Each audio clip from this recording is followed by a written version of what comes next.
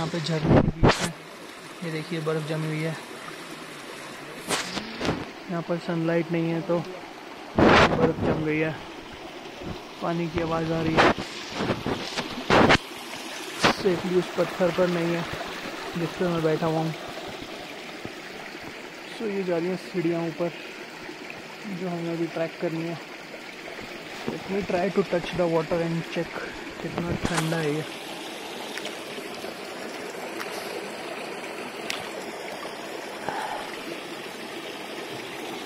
बहुत ज़्यादा ठंडा है।